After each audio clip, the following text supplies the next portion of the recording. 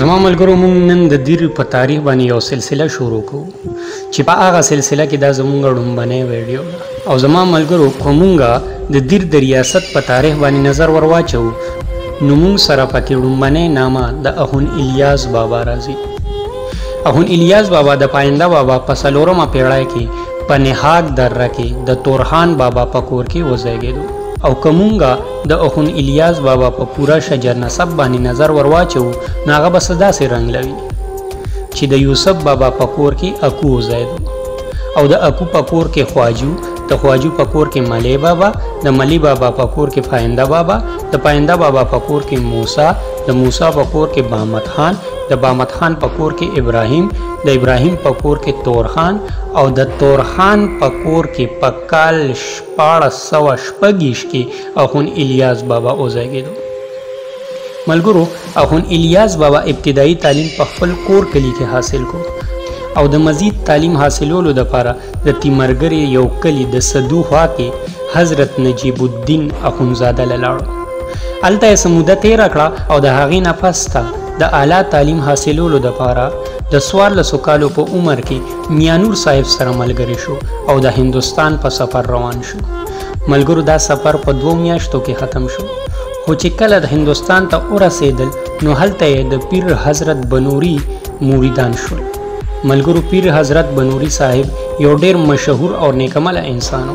او په دغه وخت کې د پیر صاحب د مریدانو شمیر یو لاک پنځیشتو زرو ته رسېدلو دوستانو دا د مغولو دور و او د شاه جهان بادشاهي وه. شاه جهان باچا چې د بنوري صاحب شهرت او مریدانو ته وکتل نو باچا ترېنه یره محسوسه کړه او پیر بنوري صاحب یې سره د خپلو مریدانو د هندوستان نه وویستو. پیر صاحب مکې ته هجرت وکړو او هلته یې شپږ میاشتې تېرې کړې. هم په دې دوران کې ورسره میانور صاحب او اخون الیاس دواړه موجود وو. ملګرو ویل کیږي چې یو ورځ پیر صاحب په خپل عبادت کې مشغول او درې پیرې یې اواز وکړو چې او میا نور او میا نور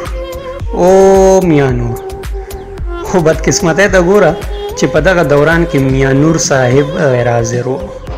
هم په دې دوران کې اخون الیاس پاسېدو او ډېر په ادب او احترام سره یې عرض وکړو چې اخون الیاس حاضر دی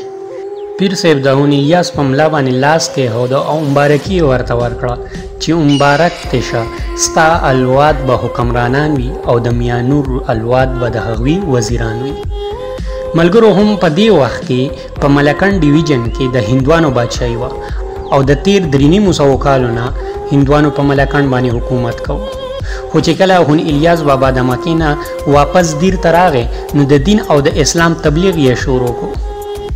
نو د دیر او د ملکان مسلمانانو ته یو دینی او قابل مشر ملاو شو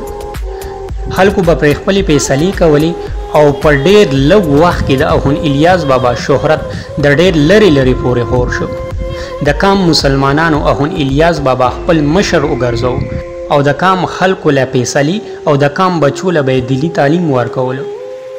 او دې سره سره خلکو ورله عطیات او نذرانې هم ورکولې چې د دې له کبله په ډېر لږ وخت کې د اخوند الیاس بابا سره ډېر دولت جمع شو. ملګرو! وخت تېرېدو سره سره د دې مشرۍ دایره سېوا کېدله او بیا دا مشري د اخوند الیاس بابا د اولاد په دور کې حکمرانۍ ته بدله شوه او اخر کې تېنا یو زبردست ریاست ودرېدو. زما ملګرو اهن الیاس بابا په کال شپاړس سوه شپږ اویا کې د دې دنیا نه رخصت شو او په دیر لویر لاجبوک دره کې تورو خاورو ته وسپارل شو